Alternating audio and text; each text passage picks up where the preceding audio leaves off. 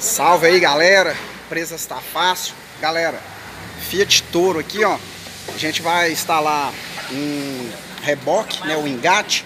E aí, é, eu vou mostrar aqui pra vocês Me foi perguntado é, numa oportunidade aí Onde localizar a chave para baixar o step aqui do carro né, Que a gente tem que tirar ele para fazer os furos ali, colocar o reboque. Olha aqui ó, vou entrar aqui no carro é, alguns modelos ele vem aqui ó abaixo do assento do banco do motorista né fica preso aqui abaixo. Garrafa d'água aqui. Mas tem modelo então assim você pode vir aqui ó abaixo aí do banco do motorista que vai estar tá a chave aí.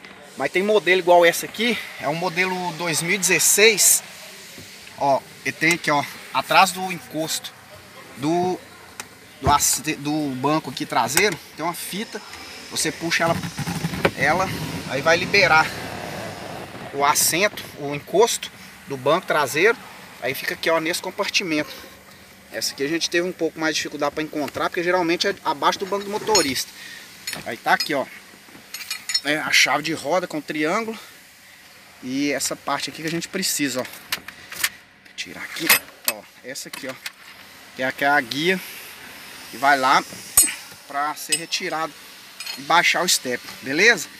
Então só compartilhando com vocês a localização da chave, né?